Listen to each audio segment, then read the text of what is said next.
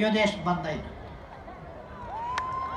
धेरै वर्षदेखि धेरै वर्षदेखि मेलम्चीको पानीका हामीले कुरा गऱ्यौँ तर एमालेको सरकार बन्दैन थियो चौहत्तर सालमा भने मेलम्ची मेलम्ची नै बनिरहन्थ्यो उतै कुदिरहन्थ्यो ती खोला उतै बगिरहन्थे पानी यहाँ काठमाडौँमा झर्ने थिएन। एमाले मेलम्चीको पानी झार्यो काठमाडौँ। एउटा बाढीले अलिकति बिगार्यो। एउटा बाढीले बिगार्यो। नयाँ वर्ष आउनभन्दा अगाडि हामीले त भनेका थियौँ अङ्ग्रेजीको नयाँ सम्मत भनेको जनवरी जनवरीभन्दा अगाडि काठमाडौँमा पानी झार्छौँ भनेका थियौँ। सरकार षड्यन्त्रपूर्ण ढङ्गले ढालेपछि हामीले त्यो सपना पुरा गर्न पाएनौँ त्यो सङ्कल्प पुरा गर्न पाएनौँ। तर अर्को सरकार बन्यो। उसले चैत मसान्तसम्ममा पानी ल्याउँछौँ भन्यो। म काठमाडौँका जनतालाई भन्न चाहन्छु। सरकारले कान खोलेर सुन्योस् हाम्रो मेघ मार्न पनि उसले भनेको समयमा चैत मसान्तमा काठमाडौँमा पानी झारेर देखाओस्। यिनीहरू काठमाडौँमा पानी झार्ने होइन मन्त्रालय पछि निकाय नै पछि पाइप फिट गरेर आम्दानी कहाँ झार्ने भन्ने ध्यानमा छन्? के को पाइप? पानीको पाइप। कडा कडा यिनीहरूको ध्यान त्यता छ र मान्छे निष्कासन गर्ने नियुक्त गर्ने काम गर्ने छैन। प्रधानमन्त्री जानभन्दा अगाडि बेलायतको राजदूत निकाले। अहिले बाह्रवटा कतिवटा देशमा राजदूत छैन। ढुक्क छ सरकारलाई। राजदूत छैन। केही फरक पर्दैन सरकारलाई मतलबै छैन। अर्थात् मैले धेरै भन्न पर्दैन। धरहरा वैशाख बाह्र गते ढल्यो। फेरि हामी आउन पर्यो अर्को पल्ट। बहत्तर सालमा ढल्यो।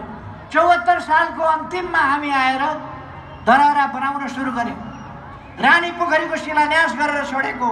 त्यत्तिकै थियो फेरि हामी आएर बनायौँ। काठमाडौँ पहिलेको काठमाडौँ र एमाले सरकार बनेपछिको काठमाडौँको भिन्नता हेर्नुहोस्। सडक हेर्नुहोस् सडक छेउका वृक्षारोपण हेर्नुहोस् फुल हेर्नुहोस् बगैँचा हेर्नुहोस् सरसफाइ हेर्नुहोस्। नेकपा एमालेको सरकार बनेपछि बेग्लै स्थिति छ। तर यो कुरा केही तत्त्वहरूलाई पचेन।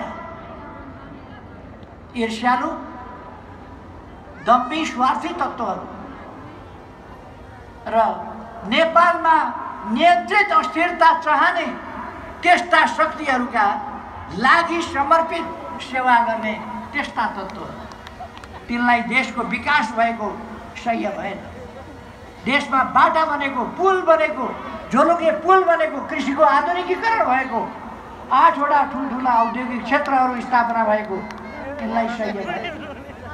हुलाकी राजमार्ग आफै बनाएको मदन भण्डारी राजमार्ग बनाएको पूर्व पश्चिम राजमार्ग चौडा गरेको। धरतीको अर्बिट छेरेर अन्तरिक्षमा सानो भए पनि सेटेलाइट पठाएको सेटेलाइट पठाउने हामीले अन्तरिक्षमा आफ्नो ठाउँ लिएको। ती कुराहरू यिनीहरूलाई मन परेन। पानीको बाटो प्रयोग गर्छौँ हामी जलमार्गको प्रयोग गर्छौँ हामी। चिनतिरबाट बाटो खोल्छौँ हामी हामीले खोल्यौँ। यिनीहरूलाई चित्त बुझेन। यिनीहरू सधैँ विरोध सधैँ विरोध सधैँ विरोध। काम गर्न नदिने विकास गर्न नदिने विकासका समस्या। सधैँ निर्मला पन्त निर्मला पन्त यिनीहरू कराए छ महिनासम्म निर्मला पन्त के हेरेर छन्? किन छानबिन गर्दैन यिनीहरू? त्यति बेला छानबिन गर्न नदिएर दिनै पछि जुलुस गरेर प्रहरीलाई छानबिन गर्न व्यवधान गरेर निर्मला पन्त केही हुनु दिएन हामीले हामीले नेपालको भूभाग सामेल गरेर नेपालको नक्सा छाप्यौँ संसदबाट पारित गऱ्यौँ। नेपाली कङ्ग्रेस पनि हात उठाउनेमा त थियो पास गर्ने कुरामा संविधानमा। नेपालको नक्सा अहिले चुच्चे नक्सा भनिन्छ। चुच्चे नक्सा पास गर्ने ठाउँमा त नेपाली कङ्ग्रेस पनि थियो संसदमा। तर आफ्नो महाधिवेशनमा चुच्चे होइन बुच्चे नक्सा फेरि कङ्ग्रेसले बुच्चे नक्सा राख्यो कसका लागि कसको इसारामा? नेपाली कङ्ग्रेसले किन फेरि बुच्चे नक्सा पुरानै नक्सा किन राख्यो हाम्रो हाम्रो संसदले दुई तिहाईबाट मात्रै होइन सर्वसम्मतिले पास गरेको संविधान संशोधन समेत गरेर पास गरेको लिम्पियाधुरा लिपुलेख र कालापानी सामेल भएको नक्सा संविधानको उल्लङ्घन नेपाली कङ्ग्रेसले किन गर्यो? आफ्नो महाधिवेशनमा एकजना नेपाली सफेद तर्दा तर्दै तुइन काटेर खोलामा झारियो। उनी बेपत्ता भए। त्यस सम्बन्धमा एक शब्द बोल्न सक्दैन नेपाली काङ्ग्रेसको नेतृत्वको सरकार। अनि के काम लाग्छ यो सरकार? यो सरकार के का लागि? यसलाई राष्ट्रियताको मतलब छैन। संविधानको उल्लङ्घन गर्छ। संविधानको धज्जी उडाउँछ। के का लागि? विकासका आयोजनाहरू पूर्वाधार निर्माणका आयोजनाहरू कटौती गरेको छ। के का लागि? यस्तो सरकार बनेको छ। मैले यो लामो भन्न चाहन्न कस्तो सरकार बनेको छ अहिले? देशको अवस्था कस्तो छ? जनताले छानेको होइन। जनताका प्रतिनिधि संस्थाले थाहै नपाइकन परमादेशबाट जडान गरिएको एउटा भेन्टिलेटरमा राखिएको सरकार छ। भेन्टिलेटरवाला। पाँच दलीय गठबन्धनवाला। खानको गठबन्धन। खन्चुवा गठबन्धन। त्यो सरकार छ। देश कता जाँदैछ संसद काम लागिराखेका छैन चलिराखेका छैन सरकार काम लागिराखेका छैन मन्त्रीले झन्डा हल्लाएर सरकार चल्यो भन्न सकिँदैन र अदालतको हालत यस्तो छ न्यायाधीशहरू प्रधान न्यायाधीशलाई भित्र पस्न दिँदैन वकिलहरू सर्वोच्चको प्राङ्गणमा कुस्ती खेल्छ अखडा भएको छ दादागिरी चल्या छ अदालत हो कि के हो यस्तो छ लेनदेन कारोबारका कुरा उहाँहरूबाट आउँछन् साँठगाँठ र सेटिङका कुरा उहाँहरूबाट आउँछन् हालत यस्तो छ देश कता जाँदैछ लोकतन्त्रको हुर्मत लिने लोकतन्त्रको चिरहरण गर्ने काम भएको छ आज यस्तो अवस्था त छ अब यस अवस्थामा हामीले के गर्ने नेकपा एमाले विधानमा अधिवेशन गर्यो। वडा अधिवेशन गर्यो। पालिका अधिवेशनहरू गर्यो। दसौँ राष्ट्रिय महाधिवेशन गर्यो। आज सबै जिल्ला अधिवेशनहरू गर्दैछ। अब आठ गते प्रदेश अधिवेशनहरू गर्छ। र एउटा सङ्गठनात्मक पुनः व्यवस्थापनको मैले किन पुनः व्यवस्थापन भनेको भने प्रचण्डले हामीले एकीकरण गरेका थियौँ त्यो एकीकरणबाट एउटा सानो चैटो लिएर प्रचण्ड कम्युनिस्ट आन्दोलन समाप्त पार्नु छ उनलाई वामपन्थी आन्दोलन समाप्त पार्नु छ उनलाई। त्यसकारण उनी एउटा चैटो लिएर दुई तिहाई लगभग पुगेको वामपन्थी आन्दोलन त्यसलाई टुक्र्याएर प्रचण्ड हिँडे अझै पनि आन्दोलन कमजोर भएन मजबुतै रह्यो भनेपछि अर्का निस्किए एकजना मुखिया छ यो लाखे नाचमा एउटा भन्छ नि लाखे नाचमा के हुन्छ अर्को त्यो लाखेलाई जिस्क्याउने। हो त्यो लाखेलाई जिस्क्याउने बुरुक उफ्रिँदै लाखेलाई जिस्क्याउँछ नि त्यस्तै अर्को निस्कियो फेरि उफ्रिँदै। नेकपा एमाले फुटाउन। उनलाई हामीले निष्कासन गऱ्यौँ। निर्वाचन आयोगलाई पत्र दियौँ सभामुखलाई पत्र दियौँ संविधान कानुनको केही मतलब छैन। नाङ्गो नाच छ। अधिकारको दुरुपयोग। लोकतन्त्रको हुर्बत लिने काम भएको छ। तिनै मान्छेहरू राखेर पार्टी दर्ताको नाटक गरेको यस्तो अवस्थामा अब नेकपा एमाले यस अधिवेशनमा छलफल गर्नुपर्ने। आजको अधिवेशनमा छलफल गर्नुपर्ने र गर्नुपर्ने काम के हो भने अहिले पार्टीको विधान महाधिवेशनबाट पार्टीले लिएका राष्ट्र निर्माणका नीतिहरू विकास निर्माणका नीतिहरू सुशासन सम्बन्धी नीतिहरू लोकतन्त्र सम्बन्धी नीतिहरू विकासका नीतिहरू सामाजिक न्याय र समानताका नीतिहरू यी तमाम नीतिहरू लिएर आफूले बुझेर ती लिएर जनताका बिचमा जानुपर्नेछ। त्यस सम्बन्धमा तपाईँहरू छलफल गर्नुहोस् ती नीतिहरू लिएर आजको देशको अवस्था जनतालाई बुझाउने त्यस कार्यमा तपाईँहरू जानुपर्नेछ।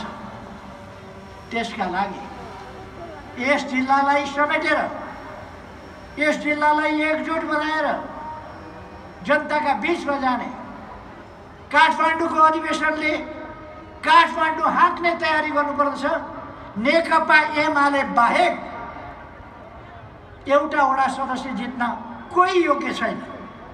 नेकपा एमाले मात्रै त्यसको तयारी तपाईँहरूले गर्नुपर्छ।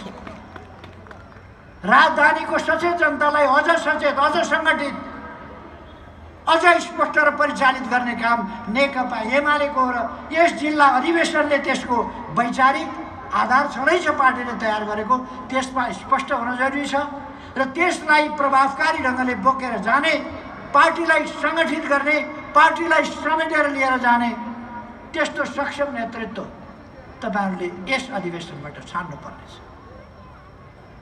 अघि मैले देशका सबै जिल्लाहरूको उद्घाटन गर्ने सन्दर्भमा केही कुराहरू राखेँ। त्यस सन्दर्भमा मैले हाम्रा पार्टीका नीतिहरू उद्देश्यहरू सबैको सन्दर्भमा बोलिसकेका छु। ती कुराहरू म यहाँ दोहोऱ्याइरहन आवश्यक ठान्दिनँ। हामी यस देशलाई एउटा समृद्ध देश बनाउन चाहन्छौँ।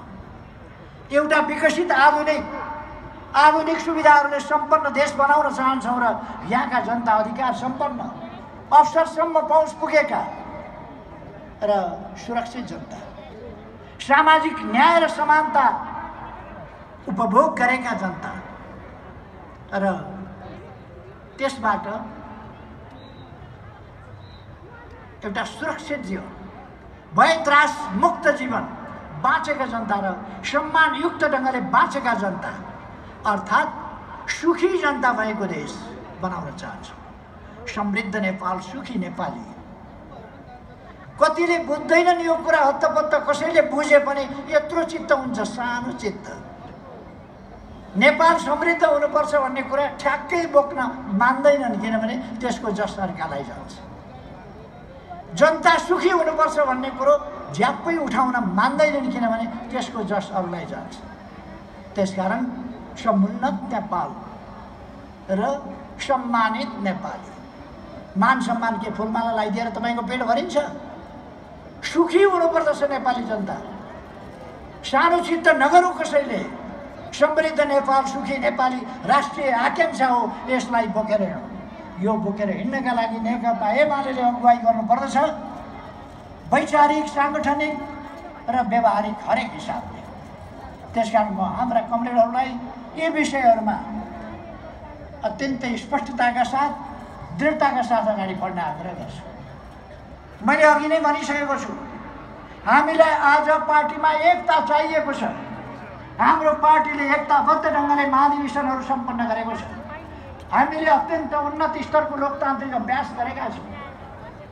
कतिले विचारको बहसै भएन भन्छन् पढ्दैनन् त हामीलाई के गर्ने? हामीले त्यत्रो दस्तावेजहरू प्रस्तुत गरेका छौँ छलफल गरेका छौँ महाधिवेशनबाट पारित गरेका छौँ।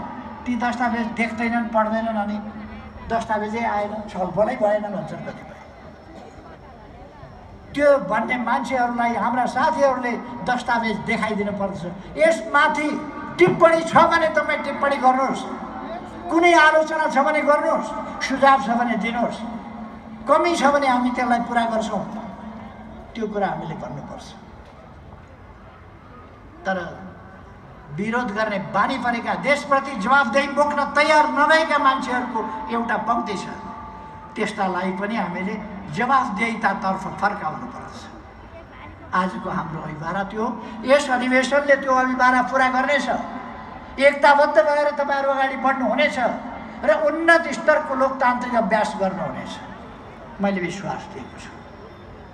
सकेसम्म तपाईँहरू एकताबद्ध भएर सर्वसहमतिका साथ जानुहोस् उच्च स्तरको समझदारीका साथ जानुहोस् हुँदैन भने स्वस्थ प्रतिस्पर्धा गर्नुहोस्। स्वस्थ प्रतिस्पर्धाबाट नेतृत्व छान्नुहोस्। तर आजको परिस्थितिलाई ध्यानमा राख्नुहोस् आफूलाई केन्द्रमा होइन। देशलाई जनतालाई आन्दोलनलाई प्रजातन्त्रलाई आजको परिस्थितिको सामना गरेर अगाडि बढ्ने देशलाई अगाडि बढाउने अभिभारा हाम्रो काममा छ भन्ने कुरालाई बुझेर कमरेडहरू अगाडि बढ्नुहोस्। यही आग्रह म गर्न चाहन्छु र तपाईँहरूलाई धेरै धेरै सफलताको शुभकामनाका साथ। यसपछि आगामी दिनहरूमा तपाईँहरूले अझ उन्नत स्तरका सफलताहरू प्राप्त गर्दै जानुहुनेछ भन्ने अपेक्षाका साथ त्यसका निम्ति तीव्र तयारी गर्नुहोस् भन्ने अपेक्षाका साथ आफ्नो भनाइ टुङ्ग्याउँछु र म यहाँहरूसँग बिदा पनि हुन्छु धन्यवाद